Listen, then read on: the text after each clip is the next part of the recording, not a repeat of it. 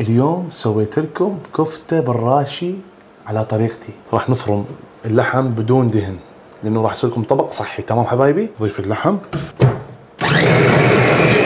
هنا صارت جاهزة.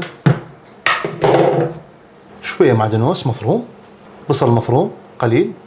فصين ثوم مقطع.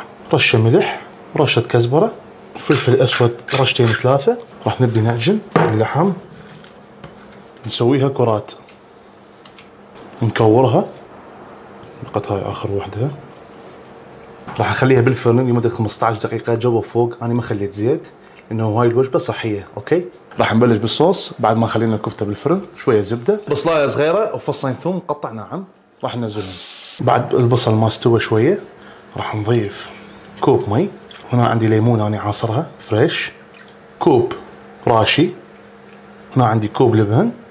راح نخليها على نار هادية ونوقف فوق راسها لحد ما تغلي ونفرغ الكفتة. هنا أنا شوفوا قاعد تغلي عندي. لازم قلت لكم لازم توقفون فوق راسها. نخلي كفتة بالصلصة.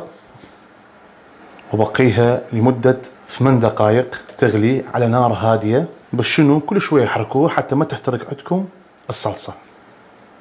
راح أخلي شوية ملح. رشتين ثلاثة هيجي عينك ميزانك وراح أضيف شوية فلفل أسود. تحريكة صغيرة. راح نخليها خمس دقائق على النار هادية ونقدمها لكم حبايبي. راح أقدم وياه خضروات سوتيه. عندي هنا بروكلي وجزر وشجر وذرة. هنا عندي ميدا يغلي. راح أخلي شوية فلفل أسود شوية ملح راح أخلي شوية زبدة نباتي. بس نكهة. وراح أنزل السوتيه.